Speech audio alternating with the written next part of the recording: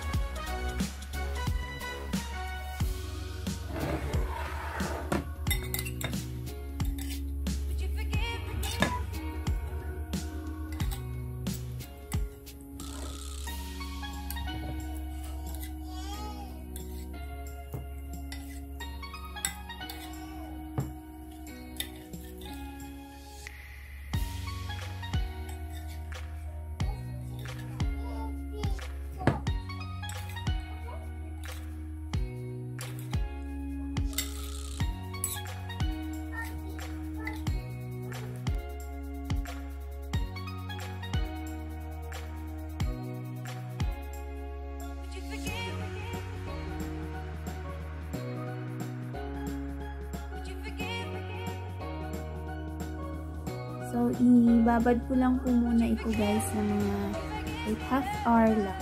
Yan. Para manuot yung kanyang lasa.